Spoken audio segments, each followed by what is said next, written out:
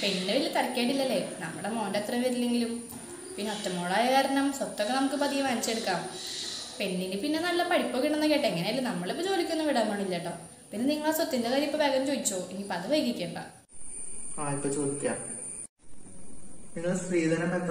ഉദ്ദേശിക്കുന്നത് എനിക്ക് ഒറ്റ മോളാണ്. അപ്പോൾ എനിക്കുള്ളതൊക്കെ അവളുടെയാണ്. നാട്ടുനടപ്പനുസരിച്ച് തന്നെ അവളുടെ കല്യാണം നല്ല രീതിയിൽ ഞാൻ നടത്തും. ഈ വീടും വീട് ഇരിക്കുന്ന സ്ഥലം ഒക്കെ അവൾക്കുള്ളതാണ്. പിന്നെ കല്യാണത്തിനായി ഇരുപത് പവൻ സ്വർണവും ഞാൻ അവൾക്ക് നൽകും. അമ്മ നമ്മളെ കൊണ്ട് ഒരിക്കലും ഈ കല്യാണം നടത്താൻ കഴിയില്ല. എന്നെ പഠിപ്പിക്കാൻ തന്നെ അമ്മ എന്തോരം കഷ്ടപ്പെട്ടിട്ടുണ്ടെന്ന് എനിക്കറിയാം. നമ്മുടെ ഇവിടെ അച്ഛനില്ല. പിന്നെ എന്ത് കണ്ട അമ്മ അവർക്ക് വാക്ക് കൊടുത്തേ? എന്റെ മോളെ നീ ഒരു പെണ്ണാണ്. നിന്നെ കെട്ടിച്ചയക്കേണ്ട കടമ അമ്മയായി എനിക്കുണ്ട്.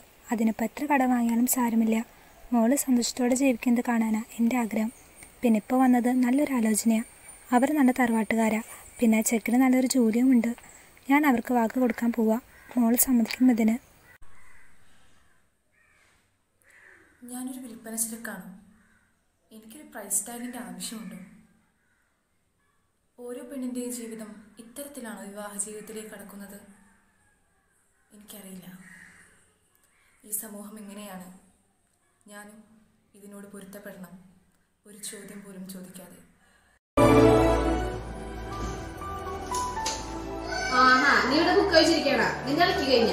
പിന്നെ മിറ്റത്തലക്കാരോടും നീ കണ്ടില്ലേ? പിന്നെ കളിക്കാൻ നിന്നോട് പ്രത്യേകം പറയണോ? എന്നോട് ചായ കൊണ്ടുവരാൻ പറഞ്ഞിട്ട് നീ ഇവിടെ എന്തോ നോക്കിയിരിക്കുക? ആഹാ നീ ഇവിടെ വെറുതെ നിൽക്കണ പിന്നെ ഇതൊക്കെ ആരാ എടുക്കുക? എന്നാ കൊണ്ട് വേലക്ക് എടി മതി. മതി നീ പറഞ്ഞത് മതി. നീ നീ എന്തൊക്കെ പറഞ്ഞത്? നിന്റെ അമ്മ എന്തൊക്കെ തന്നത്? എന്തൊക്കെ വാഗ്ദാനം തന്നത്? എവിടെ എന്തൊക്കെ? എത്ര- ഭാഗം വയ്ക്കുന്ന പറഞ്ഞാൽ എഴുപത് പവൻ. എന്നിട്ട് എവിടെ? അവർ ഒരു ഇരുപത് പവൻ കൊണ്ടു മുപ്പത് വാങ്ങണം? ഒരു തയ്ച്ച് ആ ഒരു ഇരുപത്തി ഇരുപത്തഞ്ച് ഇരുപത്തഞ്ച് വാങ്ങണമെന്ന് പറയാം. തികച്ചു വേണമെന്ന് പിന്നെ അച്ഛനില്ലാത്ത കുട്ടികളെ പിന്നെ എന്ത് പറയേ? എന്താ നിന്നോട് പറയണ്ടേ? നീ നീ പഠിച്ച് ശരി. നീ പഠിച്ച് സമ്മതിച്ച്. പക്ഷെ നീ പഠിച്ചുകൊണ്ട് നീ വീട്ടിട്ട് നീ വേറെ ജോലിക്കൊന്നും പോകുമ്പോഴുള്ള അവിടെ ഞാൻ കൊണ്ടുവരുന്നുണ്ട് അതുപോലെ അതിന്റെ ആവശ്യമുള്ളൂ. ഞാൻ ഞാൻ കൊണ്ടിട്ട് മതി.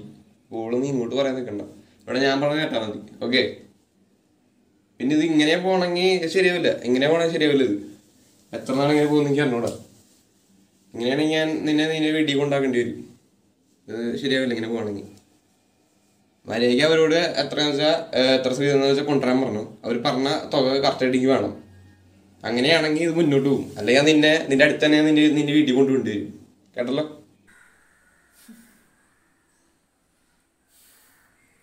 നിങ്ങൾ പറഞ്ഞതൊക്കെ ശരിയാ. എന്റെ അമ്മേനെ കൊണ്ട് ഒരിക്കലും ആ കടം വീട്ടാൻ പറ്റും തോന്നുന്നില്ല. വയ്യാത്ത എന്റെ അമ്മേനെ ഞാൻ എന്ത് പറഞ്ഞ് നിർബന്ധിക്കും? എന്നെ കൊണ്ടാവില്ല.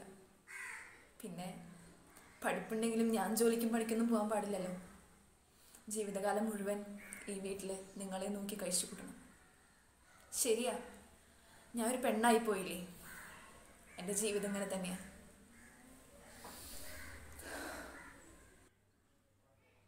ഹലോ ആ പറ. ഹലോ? എന്റെ പേര് ദേവി. എന്റെ വിവാഹം കഴിഞ്ഞിട്ട് ഏകദേശം ഒരു വർഷത്തിന്റെ അടുത്തായി. കല്യാണം കഴിഞ്ഞ നാലിന്റെ അന്ന് തുടങ്ങിയ ക്രൂരതകളാണ്. സ്ത്രീധനത്തിന്റെയും എന്റെ കുറവുകളുടെയും പേര് പറഞ്ഞ് എന്നും ഈ വീട്ടിൽ നിന്ന് എനിക്ക് ശാരീരികവും മാനസികവുമായ പീഡനങ്ങളാണ്. എനിക്കിനിത് സഹിക്കാൻ വയ്യ. എനിക്ക് ആരോടും പറയാനില്ല. ആകെ ഒരു അമ്മ മാത്രമേ ഉള്ളൂ. എന്നെ നിങ്ങൾ കൈവിടരുത്. ആ എന്നിട്ട് നിങ്ങൾ പോലീസ് സ്റ്റേഷനിൽ ഇതുവരെ പരാതി ഒന്നും കൊടുത്തിട്ടില്ലേ? ആ എന്നാ പിന്നെ അനുഭവിച്ചോ? സഹായിക്കണം.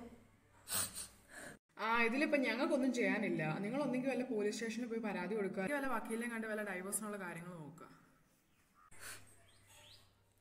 ഹലോ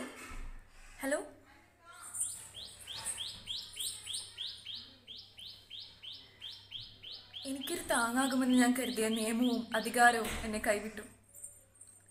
ഇനി ഞാൻ ആരോട് പറയും?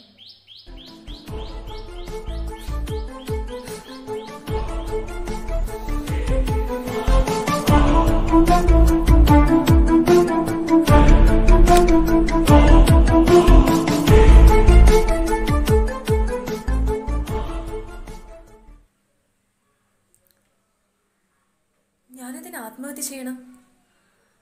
അവരെന്നോടല്ലേ തെറ്റ് ചെയ്തത്? ഞാനതിനെ സ്വയം ശിക്ഷിക്കണം? എന്റെ അമ്മയെ എന്തിനു വേദനിപ്പിക്കണം? ഇതെനിക്ക് ദൈവം തന്ന ജന്മമാണ്. ഏറ്റവും സന്തോഷത്തോടുകൂടി ജീവിക്കാൻ തന്ന ജന്മം. ഞാനൊരു ഭീരുവിനെ പോലെ ഒളിച്ചോടില്ല.